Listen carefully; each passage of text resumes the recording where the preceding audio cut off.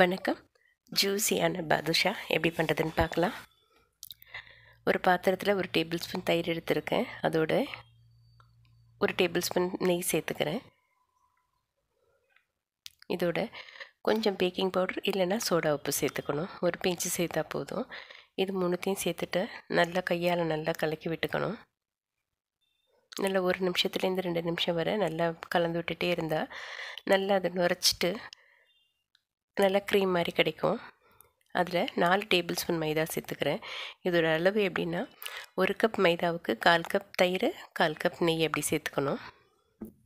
நான் இன்றைக்கி குறைச்சலாக செய்கிறதால ஸ்பூன் அளவில் எடுத்துருக்கிறேன். இது எல்லாத்தையும் நல்லா மிக்ஸ் பண்ணி விட்டுக்கிட்டு தேவைப்பட்டால் கொஞ்சம் தண்ணி சேர்த்துட்டு சப்பாத்தி மாவு பதத்துக்கு பேசி பிசைஞ்சிக்கணும். கொஞ்சம் லைட்டாக தளர இருக்கணும். இந்த அளவுக்கு நான் பிசைஞ்சிருக்கேன். ரொம்ப டைட்டாக இருந்தாலும் உள்ள வரைக்கும் ஜூஸ் இது சுகர் சிரப் இறங்காது. மாவை நல்லா பிசைஞ்சு விட்டுட்டு ஒரு இருபது நிமிஷம் ஊற வச்சுட்டேன்.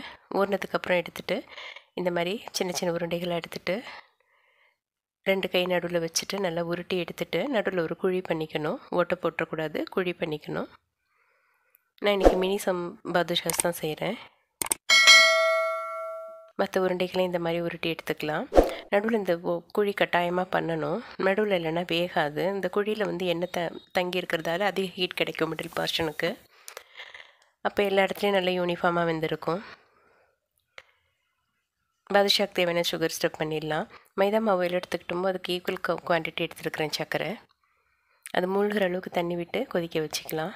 சர்க்கரை நல்லா கதஞ்சு கரைஞ்சோன்னு ஒரு அஞ்சு நிமிஷம் கொதித்தா பாகு ரெடி ஆகிடும் இது அந்த ஒரு கம்பி பாகு பத்து வரைக்கும் போகக்கூடாது.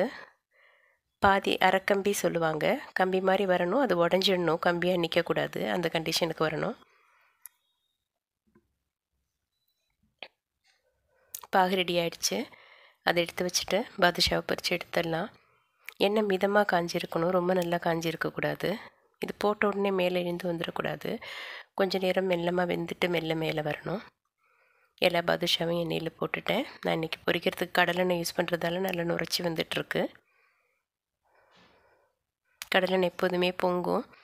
அதனால் கொஞ்சம் பெரிய பாத்திரத்தில் வச்சுட்டு பொரிக்கணும். நம்ம எடுத்துருக்க பாத்திரத்தில் பாதி அளவு தான் இருக்கணும். இது எல்லாம் மேலே எழும்பி வந்ததுக்கப்புறம் ஒரு தடவை பிரட்டி விட்டுக்கிறேன். இது வேகிறதுக்கு கொஞ்சம் டைம் எடுக்கும். நிதானமாக சிம்லேயும் மீடியம் ஃப்ளேம்லேயும் மாறி மாறி வச்சுட்டு ரெண்டு ரெண்டு நிமிஷம் ஒரு பக்கம் திருப்பி திருப்பி பரட்டி விட்டு பரட்டி விட்டு வேக வைக்கணும். எனக்கு இது வேகிறதுக்கு பத்து நிமிஷம் ஆச்சு. எல்லாம் நல்லா வெந்துடுச்சு. நல்லா கோல்டன் ப்ரௌன் வர அளவுக்கு வேக வச்சாதான் உள்ள வர வெந்திருக்கும். எண்ணெயை நல்லா வடிச்சிட்டு நம்ம ஏற்கனவே செஞ்சு வச்சுருந்த சக்கரை பாகில் போட்டுக்கிறேன்.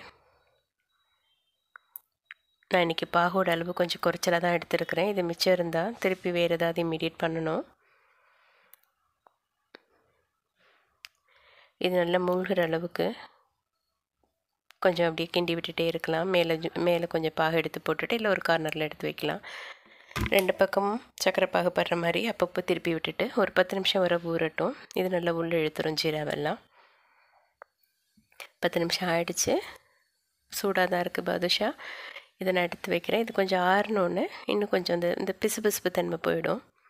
இந்த சூடாக இருக்கும்போதே டெக்கரேஷனுக்கு பாதாம் பிஸ்தா என்ன வைக்கிறீங்களோ அது ட்ரை ஃப்ரூட்ஸ் துருவி மேலே வச்சா அந்த சூட்டோட அது ஒட்டிக்கும். ஒரு பாதுஷா ஓப்பன் பண்ணி பார்க்கலாம் கட் பண்ணி பார்க்கலாம். எவ்வளோ ஜூஸியாக இருக்குது உள்ள நல்லா நல்ல சுகர் ஸ்ட்ரப்பை உறிஞ்சிருக்கு. நல்ல லேயராக நல்ல சாஃப்டாக ஜூஸியாக பாதுஷா ரெடியாக இருக்குது ஒரு தடவை ட்ரை பண்ணி பாருங்கள் நன்றி.